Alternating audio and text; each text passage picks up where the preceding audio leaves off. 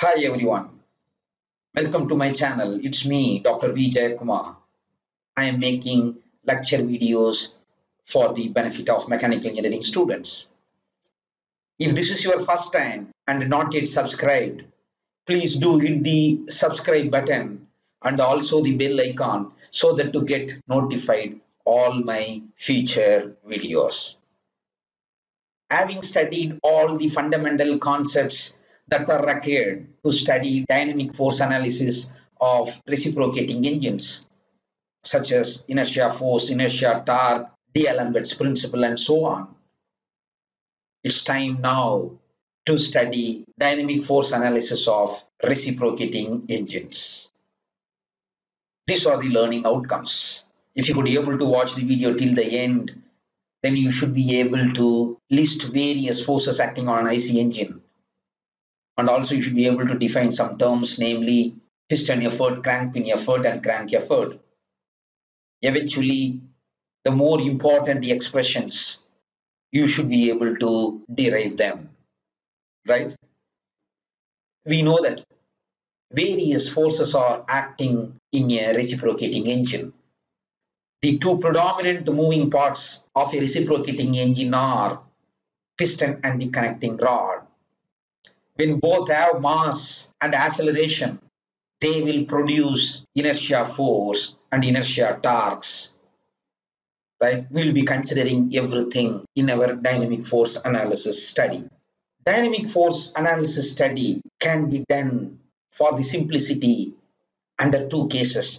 In the first case, I assume that the weight and ends the inertia effect due to the connecting rod are not considered or ignored. The case 2, in addition to the mass and inertia effect due to the piston, we are also going to consider weight and inertia effect due to the connecting rod also. We are going to consider that. That is case 2. These are the two cases under which we can start presenting dynamic force analysis problem. If you ask me about the solution method broadly, there are two methods available. One is graphical method. The other one is analytical method. What we are going to do in this video is we are going to consider case one, which will be solved by analytical method. I mean to say that we are going to talk about force analysis of reciprocating engine, neglecting the weight and inertia of the connecting rod and we are going to solve the problem by analytical method. Is that clear? We know that any accelerating body will have a inertia force. To determine inertia force, we need the acceleration of the piston. For that, we have already derived equation for acceleration of piston in our previous video. These are the notations that we are going to use even in this video with all these notations, we could be able to summarize these kinematic characteristics of IC engines. This is the displacement of piston formula for you. Velocity of piston formula. The most important for us in this analysis is acceleration of the piston, which we are going to use in order to find inertia force of the piston. Then other two, namely angular velocity and angular acceleration of the connecting rod may not be required now because we have neglected its effect in this case. Are you ready to derive all the expressions of various forces acting on an IC engine? Let's proceed. Right, uh, so we will do the configuration diagram of an IC engine, right? Okay. So let us draw the line of stroke.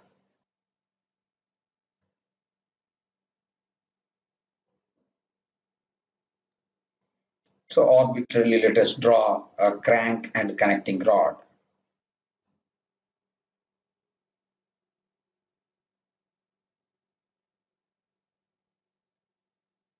Let this be O, this C, this, let it be P.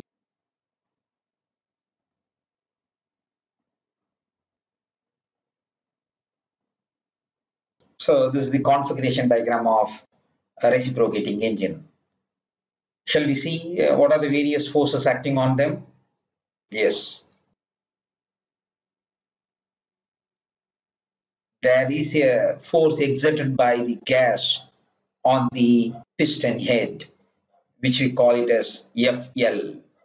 So we need to understand that in a horizontal IC engine, when the piston moves from inner dead center to outer dead center, we call it as a stroke, right? So to move from IDC to ODC, the crank should have moved from 0 degree to 180 degree. So during the first half of the stroke, piston will be accelerating 0 to 180 degree. Then from 180 degree to 360 degree during the second half of the stroke, piston will be moving from outer dead center to inner dead center. We call it as retardation. Now, when the piston accelerates, then we will have inertia force which is equal to m into a which will be acting in the opposite direction to that of the acceleration of the motion. This force we call it as inertia force Fi. And additionally, if you can assume frictional force that will act in the opposite direction to of the piston motion. So what I am showing here for acceleration position, the other forces acting on the piston or weight of the piston which will be acting downwards. Because of its weight, the cylinder walls will exert thrust normal reaction on the piston. So I could draw them here in the opposite direction. One is weight of the reciprocating parts, mass of the piston multiplied by G. This one I call it as normal reaction. So now as you could see, these all the horizontal components can be summed into one component. We call it as piston effort. The horizontal forces acting along the line of stroke can be summed vectorially to get the effective horizontal force which we use the term piston effort.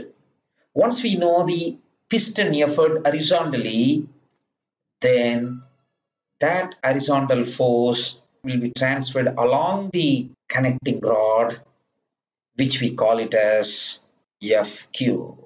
Force acting along connecting rod is FQ. This FQ can be resolved into two components. One is perpendicular to the crank, another one is parallel to the crank. We call perpendicular to the crank as crank pin effort. We call the component which is parallel to the crank by notation thrust acting on the bearing FB. Of course, this is FQ. So these are the various forces acting in an IC engine, in a reciprocating engine. Is that clear? So these are the various force components acting on an IC engine. So as I said, these are the notations that are going to be used in this derivation. What we have to determine? Yes, these are the force components that we are going to derive now. We will first go to piston effort. So what is piston effort? On the piston, there are many forces acting horizontally along the line of stroke. What is the net force? That net force, we are giving a new term that is F suffix P, which is nothing but piston effort. Piston effort Fp is equal to, we have net load acting on the piston, that means load given by the gas pressure, then the opposite direction, we will be having the inertia force of the piston, right? If piston accelerates towards the right, inertia force will be acting towards left. If you consider additionally frictional force always frictional force will be acting in the opposite direction of the piston. So the equation would be this. This is during accelerated motion. What will happen to the piston during retardation? Let us see. This is the piston. Of course, FL will be acting here. This is the direction of acceleration. Inertia force also will be acting in this side. Frictional force also will be opposing. So that means all three forces are acting towards x-axis. This equation, right? So what we have derived is for horizontal IC engine. How it would change if it is a vertical IC engine? For vertical engine, FL will be acting downwards. During acceleration, piston will move from TDC to BDC. Therefore, inertia force will be acting in the opposite direction. And if you consider frictional force, that also will be opposing. But additionally, we will be having one more. What is that? Weight of the piston which will be acting downwards. This is the equation during acceleration. What about retardation motion? Retardation, FL will be acting downwards, piston will be moving upward and hence inertia force will be in the opposite direction. Frictional force again whether it is in retardation or acceleration, the weight will be acting downwards. This is during retardation. Can you understand now? So in a vertical IC engine, we have one more extra component that W equal to mg will be acting downwards. That's need to be taken into account. It's fine.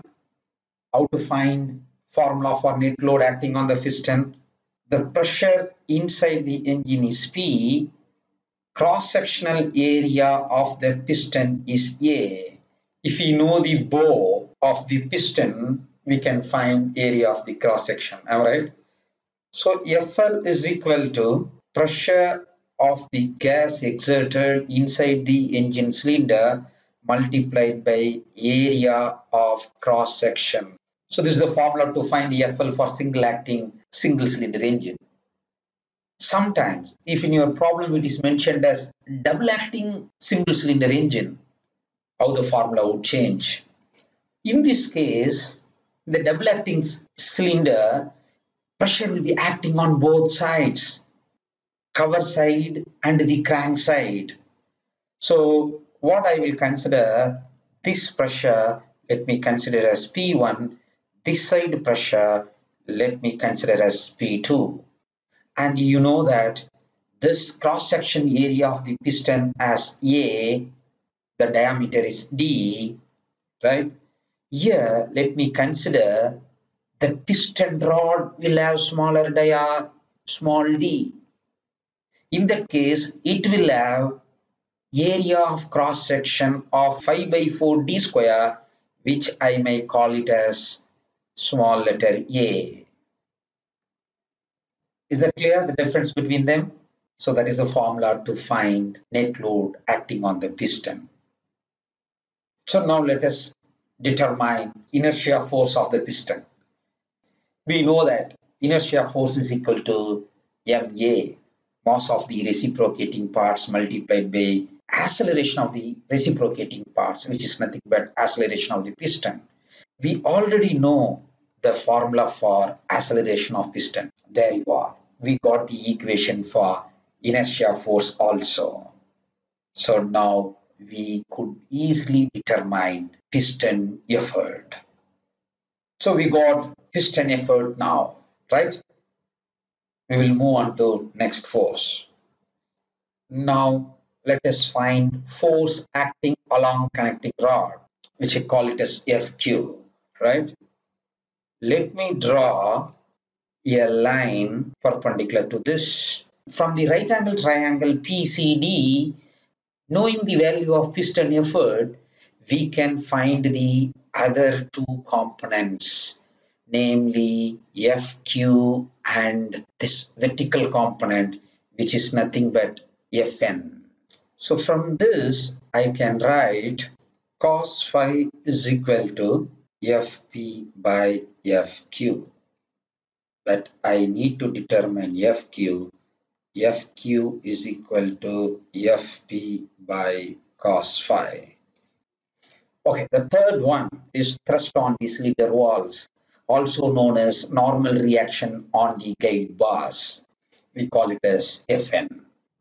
So from right angle triangle, knowing the piston effort Fp, one can find normal reaction easily. Normal reaction Fn, so Fp into tan phi. Right, the next component will be crank pin effort. This Fq acting along the connecting rod can be resolved into two components. One is perpendicular to the crank, which we call it as Ft. Since it is acting at the crank pin, this force is also known as crank pin effort. The other component is parallel to the crank. Now from O, let me draw a perpendicular. Small trigonometry we need to do here, okay? When this is theta, this must be 90 minus theta. Now take this triangle OMP. Knowing this phi, this is 90. Can you tell what could be this angle? 90 degree minus phi. Now take this triangle OMC. This is 90 minus theta. This is 90 minus phi. What could be this angle? You know sum of these three angle equal to 180 degree. So I will get theta plus phi. So we have got this angle theta plus phi. Now this will be 90 degree minus theta plus phi so knowing the FQ how can I find Ft? Right? We know that cos 90 minus theta equal to sine. So this will become sine theta plus phi is equal to Ft by Fq. So further processing, I will get Ft is equal to Fq multiplied by sine of theta plus phi. This is the force component perpendicular to the crank. Right. The next component will be thrust acting on the crankshaft bearing. You see the arrow mark. It is acting towards the crank. That force in fact will be acting on the crankshaft bearing. How can I find it? Again, we can get it from the same right angle triangle there we can get the answer for FB. So I could write now opposite side this time FB divided by hypotenuse FQ. So from that sine 90 minus theta, you know that that is cos theta. There you are. This is the formula to find thrust acting on the crankshaft bearing FB. If finally we have to find turning moment on the crankshaft, which we call it as a torque, which we also known as crank effort T. In fact, the Ft is the important fellow. The Ft, which acts perpendicular to the crank, is the one which makes the crank to turn, which makes the crank to rotate. You know the formula to find turning moment or torque is nothing but force applied multiplied by perpendicular distance between the moment center and the line of action of the force. In this case, R is the crank radius, Ft is the force acting at the crank pin, perpendicular force. So Ft multiplied by R, we will get the required turning moment T. After many simplification, I will get the turning moment equation in terms of theta. Right. this equation without which you can solve the problem, but this will be the starting point while flywheels concept. That's why I have uh, brought in here, right? So these are the various forces acting on IC engine. That's it. Hope you find this very useful. If it helps, please share among your friends. See you in the next video. Take care. Bye. Thank you.